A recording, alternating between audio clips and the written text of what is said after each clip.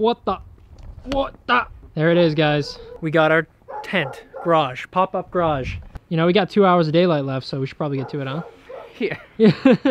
this is the other ShelterLogic tent that my dad got. This one clearly was not rated to the same weather rating as hopefully the one that we got. So this is what we got. All of the steel, nicely packaged. I like that. Got our canvas. This is the uh, the first. I think it's like a 14 mil or something like that. Pretty thick. Feels pretty durable. Whew. Lots of nuts and bolts to do. Where are the directions? got the instructions right here. 12 by 20 by 10. Let's get down the frame. Let's get to it. I'm gonna show you guys the difference in steel quality. This stuff, it's a thinner, it's painted in white. Doesn't look as beefy as this does. Side by side comparison. Yeah, I think there's a diameter difference and this is significantly heavier than this. Much better steel. Hopefully it'll stand the elements. So the directions are kind of showing us a general assembly of the ribs. And so what we're gonna do is, uh, you know, follow the directions as best as possible, but they give you all the measurements and stuff like that. They're all labeled with part numbers, so we're hoping to breeze through this pretty quick. Right now we're just kind of laying this one out at like a wall assembly, then we're gonna stand it up.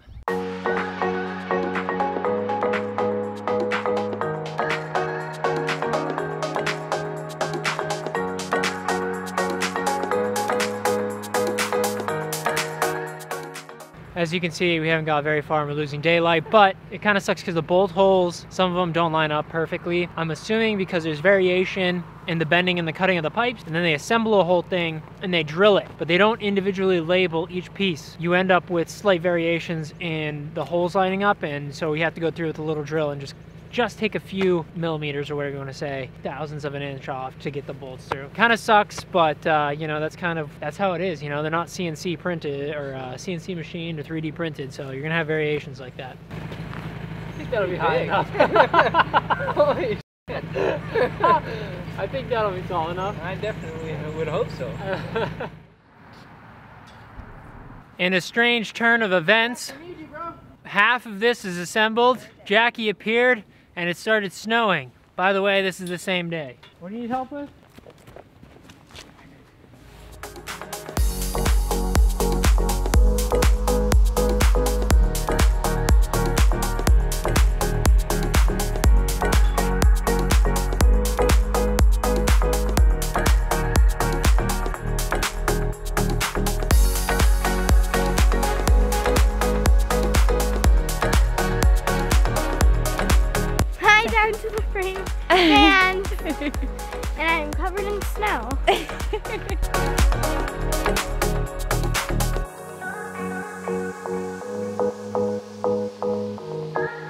I don't think you guys can see it, but the frame is up. This thing is huge. It's gonna be awesome. Day two of working on this thing. I shoveled out some of the snow the other day that we had, and uh, luckily we're in the dead of ice fishing season. So she's about uh, seven degrees this morning, something like that. Yeah. Yeah, pretty cold. Nor, uh, south of 10, that's for sure. South of 10. Now that raises some issues today because we want to try to get the spikes in. The ground's a little frozen. She is, yeah. So we don't know exactly what type of material, tools, whatever we're gonna need. So right now we are just gonna be starting with a uh, sledgehammer. Handheld. Yeah, four pound sledgehammer, Estwing, just bought it, dude. She's new. And then we're gonna drive those in and hopefully get the uh, canvas on this thing. I, I mean, we're also gonna try to get the boat today too. We're trying to do a lot. Today's tale of the tape brings us Estwing hammer. Four pound reach, 16. This is the anchor. This is actually pretty interesting. I thought they were gonna just just use standard spikes, but this is like an anchor that you put a spike through. We just have rebar we're gonna try out. Uh, I think this is half inch rebar. It slides right in here, and then you drive the stake into the ground. Pull this out if we can, and the anchor should lodge itself sideways and hold the whole unit down. Here's the illustration of that. Pound that thing into the ground. It turns sideways in the ground, locks her in place, and then wraps around one of the, uh, the edges of the pole there. Things to keep in mind when you're whale hunting in New England. You want to get this right in the butt. I don't know what I'm talking about. It's not whale hunting. it does look like it, dude. We're gonna go get Moby Dick. instructions say we should be pile driving this thing in. Why is that so funny? the ground is definitely hard, and we're also going through some nice quality stone that's been laid here, packed in there. I can feel that vibrating under my feet. God. Oh God. All right, I don't know if rebar was the best idea. The uh, rebar is now stuck in this thing. Mistakes were made. Cool thing about permafrost. Have you guys ever heard about the Big Dig? Yo, little tidbit of information, all right? The Big Dig, they used permafrost to freeze the railroad ground, the ground underneath the railroads, so they could dig under it. It gave it structure so that the railroads wouldn't fall into the tunnel when they were building it. Probably the first time in New England history anybody's ever tried to make the ground cold during the summer. What we ended up doing, guys, is we got some tube sand. The ground is too frozen, and we could spend hours, you know, trying to heat up the ground and make it work. But we're just gonna put some tube sand, and uh, hopefully that'll be good enough. Tube sand is always the answer. These are 60 pound sandbags. We're gonna tie the middle ones in, but that's, uh, it's not like incredibly heavy, but it's better than nothing, right? 360 pounds plus the weight of the frame. I think it'll hold us over until we get those spikes in. Yeah, hopefully we'll be okay. Famous last words though, right? Smash cut to this thing being like toppled over. Okay, so I guess the directions kind of have you do, you know, build it and then kind of disassemble it. On the back and the front, you have to take off the mating points to loop on the canvas. We have one part on. Time to do the two low, lower, like left and right, and then we got to do the front in the same way.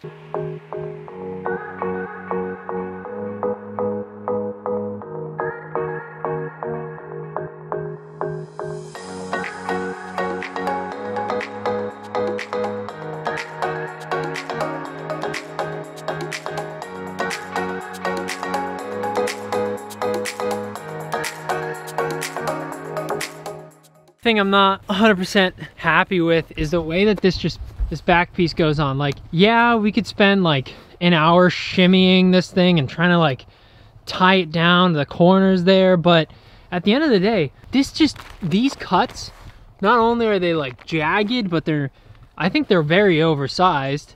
So you have all these penetrations. It just seems like these ones are just overcut, letting a lot of air and water in, you know. I mean, it's not the end all for sure, but for a $2,200 product, which is basically just some canvas and bent steel, it's good steel. It's good canvas. These are just oversized. This is, I don't know, I'm not the expert on it, but I think that could use a little refinement.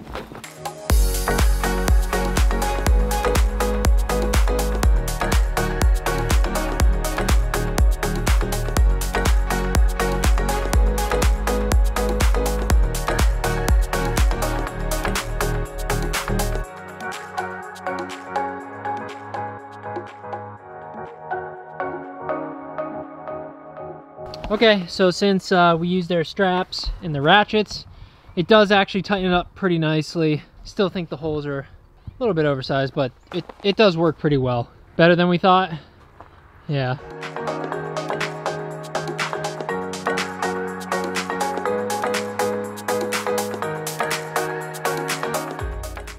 Uh,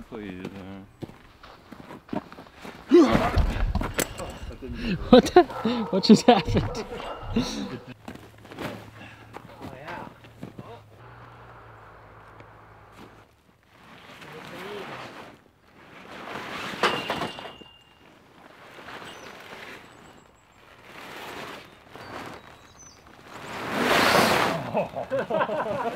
That is satisfying.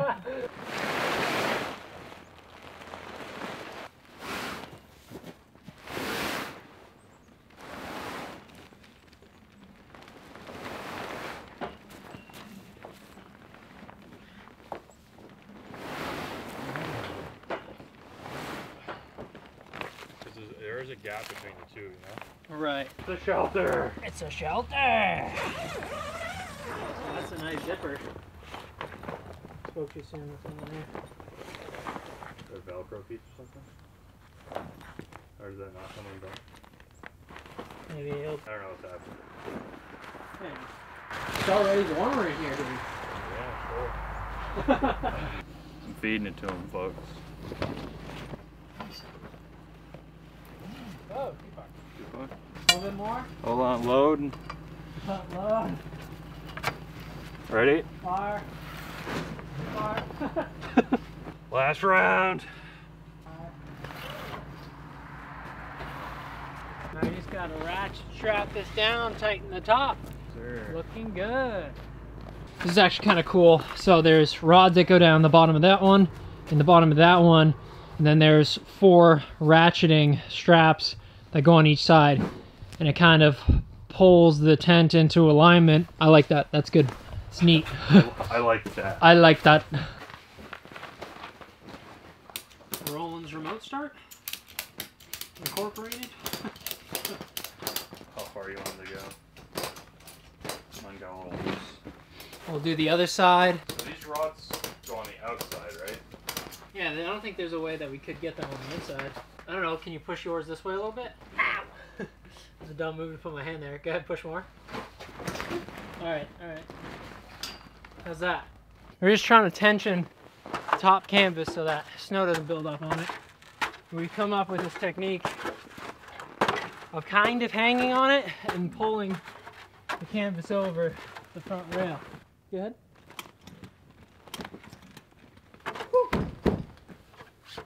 She's getting there. Good. Yeah, that's a lot tighter, dude. Got her pretty good intentioned. Yeah, she's tight as a drum now. Well done. You too. We're gonna get a boat in her and then I'll give my final review. My short-term review anyway. Obviously it's gotta hold up to the weather. Jake's quote was, it didn't get any warmer when the sun went down. Didn't. Gotta get this bad Larry home. Let's do it. I was just thinking like, oh man, we're driving around along the back of our car. I'm like, what do you mean? Then there's a fuel tank in the car itself. Where do you think she runs on?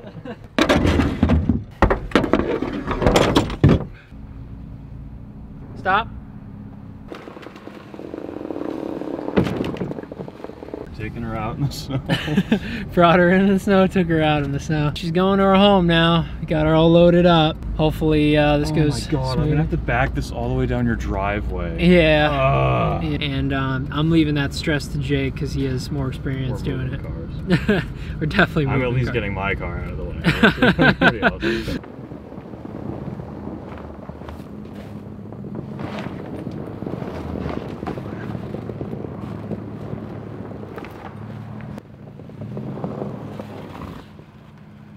Everybody else is- We're gonna show you with the blinking lights because we're not gonna have light after this, but there it is in all its glory, in the tent and everything. We'll come back when it's daylight and give you a better look. Good job, Jake.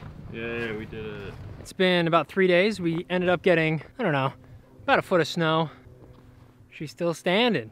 I'll show you inside now because it's daytime. Ta-da! Pops has got the snowblower in here. No snow on this bad, Larry. There's some snow on the roof and you can kind of see the areas where it's sitting. There's a little bit of condensation up there. I think we'll be okay. You know, it's probably good practice to pull that off or get in the boat, try to knock it off. So it's time to give this shelter a rating. I think I'm gonna give it two ratings. No, three rating. Yeah, three rating. We're gonna do an assembly rating. We're gonna do a material quality rating, and then just an overall rating out of 10. So first, the material. I went with the 14 ounce canvas. It's pretty durable. I think this will be able to hold up. You could go with, there's a one notch higher, I forget the exact ounces, but the other material that's in this, which is, there's only three materials. There's galvanized steel, and then there's the canvas, as well as bolts, I guess you can consider that too. The steel, really good stuff. The steel is top grade, definitely gonna hold up. It's not like the tent that collapsed behind here, which is my dad's. Big price difference though. You know, this one was a couple grand, the one behind was about 600. So something to keep in mind, you know, that that didn't even last one snowstorm. This lasted probably the biggest snowstorm of the year. We don't even have the stakes in the ground. It's just held down with sandbags. So I think the overall durability comes down to the good materials that were used and then also the structure of it. This is a round top and that round top is gonna help keep that snow off and stop it from just crushing the structure. Now we can talk about assembly. You gotta read the directions thoroughly and understand them really before you start this. My only gripe is, you know, I wish there was a little bit more text to the instructions. A lot of it was pictures. I would have liked little explanations and stuff like that. Other than that, it's not bad. Definitely was some frustrations when trying to assemble it. I think there could have been maybe some of those like push buttons or Velcro in some areas just to hold it, the canvas as you're assembling it. The steel did have some irregularities, but that's to be expected when you're getting like this type of product. It's all, looks like it's all hand bent and cut and so it's not a 3D printed or CNC machine type thing. So you're gonna have some deviations, just bring your drill, you'll get through it. So I wanna go over some of the things that I thought were issues or things that could be improved upon. Uh, number one were the cutouts where the poles would stick through the canvas. They're pretty jagged, they look like they were cut by hand and they're probably cut a little bit oversized. Although when you pull everything together, they kind of tighten up a bit, but an area to improve on that I did mention earlier in the video. Another thing is that when I got the garage door up, there was actually one part that seemed to have been sewed shut. So I did have to cut part of the canvas to get full usage of both sides. So that was a little weird. I'll even show you right here. As you can see, there's a little bit of extra material there, and I just had to cut that in order to open up the door. My last thing is, and this could come down to kind of installation type error as well, is the part where cable or strap goes through this canvas and you ratchet it down to these endpoints. When you're ratcheting it, this part can tear and it has on ours a little bit. I don't know if you, you can't really see in there. That tore because the strap is pulling so much on this. So maybe a little bit of reinforcement in that area would be nice. That's pretty much my gripes with this. I would say I give the quality of material an eight and a half. The assembly, I'd give it a seven and a half, uh, just because I would like to see a little bit more verbiage in the instructions. And the overall score, guys, I think it's a nine. It comes with a 10 year warranty. You know, obviously, if none of these trees fall on it, whatever. Like it should hold up to the elements and it's gonna be the Down to the Frames home for the next indefinite amount of time. So it was much cheaper than going out and having to find a huge shed or build your own garage or anything like that. It was much faster, much cheaper. Shout out to ShelterLogic for a great product. Don't forget to like, comment, and subscribe, guys. And we'll see you next time on Down to the Frame.